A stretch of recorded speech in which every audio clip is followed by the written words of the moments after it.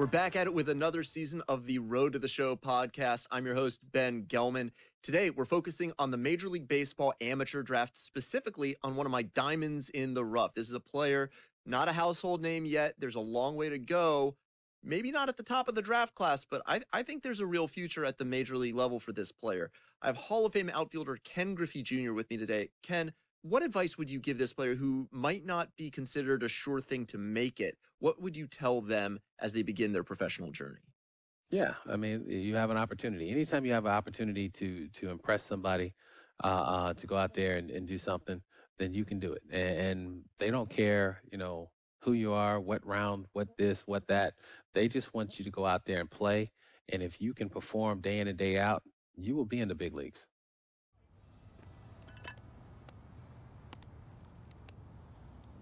With the MLB draft already Now you will be asked if there is any favorite team you want to be on. With a former coach. I don't care much as we will start in the double A's anyways.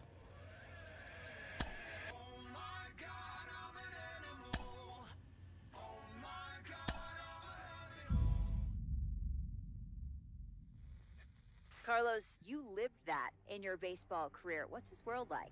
Oh, it's extremely exciting. You know that if you perform, you will get the call.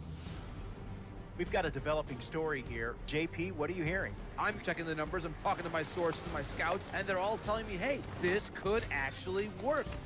Most of us mere mortals, when we were that age, we were barely chewing gum and walking at the same time, let alone playing the hardest game there is. Let's see if he's pumping up mentally here. That's what good players do. That dream of getting the big leagues is now becoming reality with that one phone call. Right after this we wait for the call, hopefully. I was drafted by the Oakland Athletics.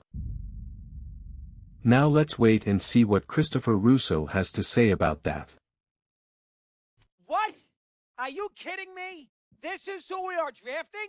You must be crazy. He is a career minor leaguer. He's not a major league player. We wasted a draft pick, a high one at that. Here, this is why we don't win.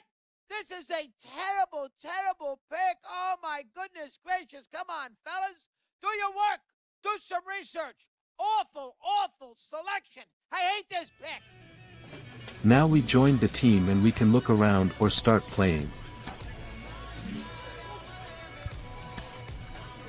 First some more from Ben Gelman and We're Kellen talking about Lee. one of my favorite picks in this year's MLB amateur draft, and I'm joined by mental performance coach Kellen Lee. Kellen, what have you heard about this particular prospect?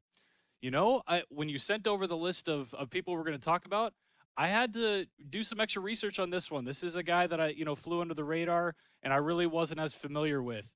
Um, but after doing a little bit more research, uh, talked to some coaches, talked to the people that know him personally, it sounds like he's got some really strong intangibles. Sounds like he was a great teammate as an amateur player. And I would imagine that the organization perhaps did their homework a little bit and found out a little bit about him uh, that other teams didn't, because it sounds like he brings a lot to the table on the on the mental side of the game. And as Yogi Berra famously said, baseball is 90% mental, the other half is physical. Now, math on that aside, Kellen, how much has baseball emphasized mental toughness, mental development in recent years? Yeah, there's been a huge shift in a lot of the organizations and players are turning to the mental side of the game to be just a regular part of player development, all the way from the minor leagues all the way up to the major leagues.